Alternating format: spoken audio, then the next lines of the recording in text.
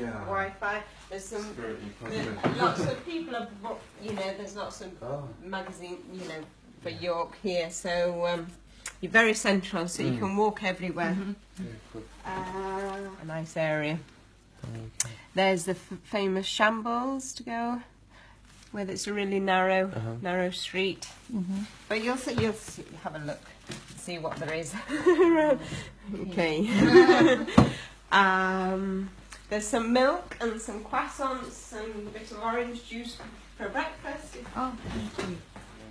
Helen mentioned that you wanted to use the washing machine. Washing machine. Yeah. So that's in there. Ah, okay. There's some tablets under the sink. Wow, nice bathroom.